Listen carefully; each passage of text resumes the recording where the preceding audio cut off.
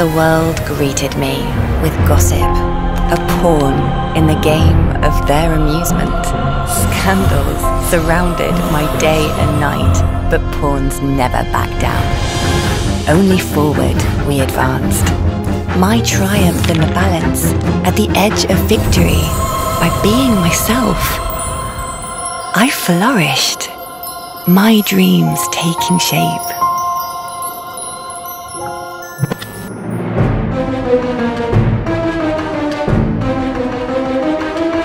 Thank you.